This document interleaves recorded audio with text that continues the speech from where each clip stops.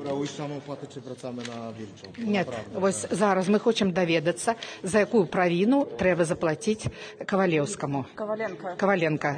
І ось у поліції. Артикул 82 параграф 5 просто. А кеди, кеди здарились? Кеди було там написано?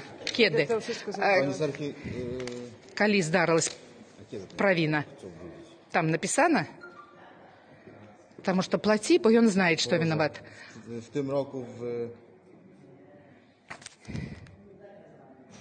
Ось. Нема тут якоїсь дата впровадження в тым року, год назад, штосьці здарилось, яму было за возьми пенёнзы, возьми пенёнзы, было штосьці здарилось минулым року, а менавіта ён спаліў фашысцкі рашысцкі сцяг, сцяг краіны, которая вядзе вайну, і вось за гэту адміністрацыйную правіну год прайшоў, нават болей. Толькі зараз калі мы зладзілі акцыю паліцыя прыйшла і паспатрабавала каб Сергей менавіта зараз у гэты момант заплаціў грошы.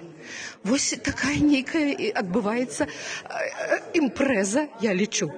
Паліцыя да нас падышла, прынесла паперы, дазволіла праводзіць акцыю, праз 5 хвілін вярнулася і сказала не, акцыю праводзіць немагчыма. Забралі Сергея і павязлі яго плаціць па- павязлі яго паліцыю, каб пасадзіць на 8 дзён. Таму мы паехалі ўслед за ім, прывезлі грошы і зараз заплоцім яму штраф, каб ён быў вольны. Но за правіну, которая адбылася больш года назад за спаленне фашысцкага раш- рашысцкага сцяга за спалення сцяга краіны агрэсара. Адміністрацыйная правіна прайшло столькі гадоў і толькі зараз штрафныя санкцыі. Это нейкі абсурд. Гэта трэба высвятляць.